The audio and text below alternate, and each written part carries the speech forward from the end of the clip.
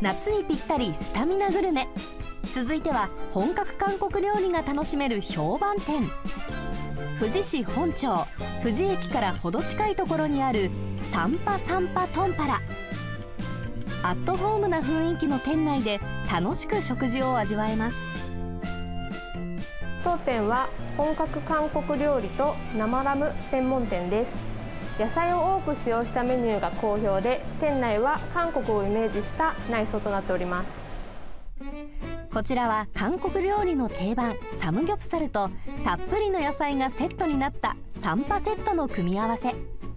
こちらは厚切りの豚バラ肉を使いスライスニンニクとキムチ自家製サムジャンネギサラダなどで一緒に召し上がっていただく焼肉です豚肉は表面に焦げ目がつくくらいに焼いてハサミを使って食べやすい大きさにカット。さらにキムチやニンニクなども一緒に焼いて仕上げます。サンパセットは新鮮な野菜がたくさん乗っておりグリーンリーフレタスサニーレタスサンチュサラダ菜などの7種類ほどの野菜が入っております。香ばしく焼けた豚肉を葉野菜の上に取りお好みでキムチやネギサラダ韓国の味噌サムジャンなどを一緒に包んでいただきます。いろいろな具材や調味料で自分好みの美味しさにできる人気のメニューです。こちらも韓国料理の定番スンドゥブチゲ。豆腐を使った辛い鍋料理です。自家製の辛い調味料を使いまして豆腐玉ねぎあさりエビイカ等の海鮮を使用しておりまして熱々で提供させていただいております。柔らかな豆腐に魚介のうまみたっぷり。辛いスープが食欲を刺激する暑い夏にこそ食べたい一杯です。スタミナのつく食材を使った韓国でも人気の一品です。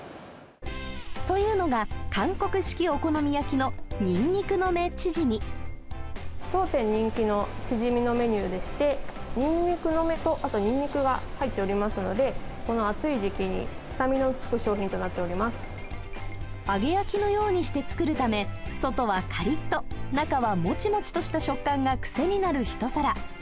唐辛子や青唐辛子にんにく生姜などを使ったピリ辛なタレも相性抜群。後を引く美味しさです。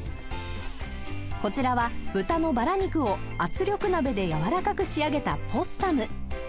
余分な脂が落ちた分さっぱりとしています。豚肉をはじめニンニクや野菜で夏バテ対策にもぴったり。